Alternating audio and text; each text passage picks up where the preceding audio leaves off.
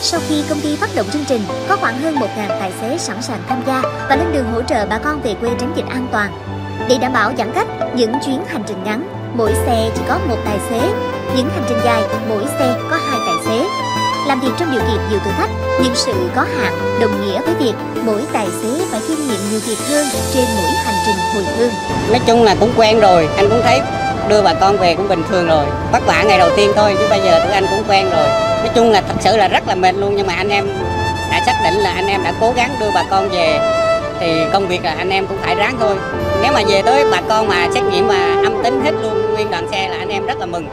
Ờ, thì mình dặn dò bà con nếu mà đi có đi à, xe của dừng đi vệ sinh thì cách nhau ra không có đi không có tập trung đi đông ghế ngồi cũng vậy ai ngồi ghế nào là ngồi theo ghế đó chỉ bà con lên xe ngồi ghế rồi à, sắp xếp hành lý cho bà con.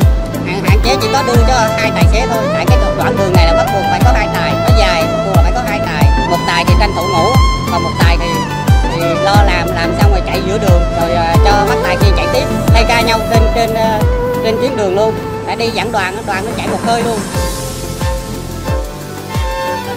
15 giờ chiều 3 tháng 8 năm 2021 tại bến xe miền Đông, quận Bình Thạnh, thành phố Hồ Chí Minh, tài xế Bá Thiên Đại Tiến, 23 tuổi, quê Phan Rang, đang hướng dẫn cho một gia đình lên xe đúng vị trí, đảm bảo các yêu cầu về giãn cách. Trong chiến dịch tổ chức 5.000 chuyến xe nghĩa tình đưa bà con các tỉnh miền Trung, miền Tây Nam Bộ về quê tránh dịch Covid-19, Tiến đã đăng ký tham gia trở thành tài xế từ những ngày đầu tổ chức. Dưới cái nắng gay gắt của Sài Gòn, mồ hôi thấm đẫm chiếc áo bảo hộ chảy dài sau lưng tài xế trẻ tuổi. Sau nhiều ngày dầm mưa giải nắng, tài xế Tiến đã dần quen với sự vất vả này. mình là tài xế của công ty Phương Trang thì cũng rất là vui được ủng hộ với công ty để đưa bà con về quê về dịch bệnh lo lắng thì cũng có nhưng mà công ty cũng trang bị cho mình đầy đủ chích ngừa vaccine và ủng hộ yên tâm à, mình lên Sài Gòn được 21 năm rồi, lên năm 13 tuổi. Thì lúc đó là mình à, chuyển trường từ cấp 1 qua cấp 2 nó khác làng không có người trở đi học nữa. Thì mình nghỉ học, nghỉ học thì ở quê không làm được cái gì. À, mình à, vào này bán số, à, bán cái số 13 năm, 3 năm rồi mình làm cái trung tâm kỹ thuật à, 4 năm. Hiện tại mình đang làm marketing cho công ty trang trí nhà đà nẵng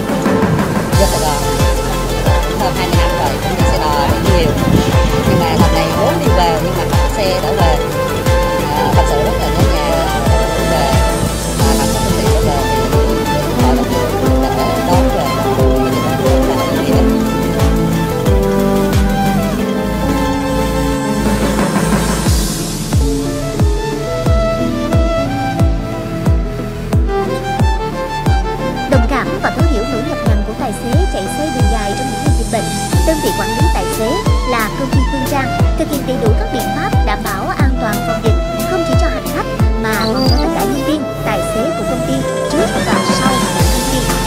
toàn bộ trước khi mà xe xuất bến ấy, là các anh em lái xe là đều được ờ, test xét nghiệm đối với covid thứ hai là sau khi mà mỗi một chuyến xe thì toàn bộ các nhà xe của công ty là đều được khử khuẩn ờ, theo cái tiêu chí là phòng dịch khi mà về các tỉnh thành ấy thì các anh em lái xe là đều có thời gian nghỉ ngơi để đảm bảo cho theo Sau khi công ty phát động chương trình, có khoảng hơn 1.000 tài xế sẵn sàng tham gia và lên đường hỗ trợ bà con về quê tránh dịch an toàn. Để đảm bảo giãn cách, những chuyến hành trình ngắn, mỗi xe chỉ có một tài xế, những hành trình dài, mỗi xe có hai tài xế. Làm việc trong điều kiện nhiều khách thách, nhưng sự có hạn đồng nghĩa với việc mỗi tài xế phải kiêm nhiệm nhiều việc hơn trên mỗi hành trình hồi hương. 16 giờ chiều, khi bà con cơ bản ổn định chỗ ngồi, những tài xế